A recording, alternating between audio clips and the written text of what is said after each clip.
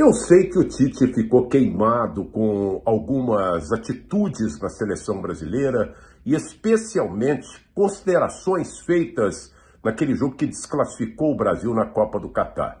De qualquer forma, aqueles que condenam, criticam o treinador, hão de concordar que ele é um bom profissional tem um currículo sensacional, é campeão do mundo, campeão da Libertadores, tem tantos títulos e sua competência é apenas uma questão de ponto de vista, de preferência de cada um.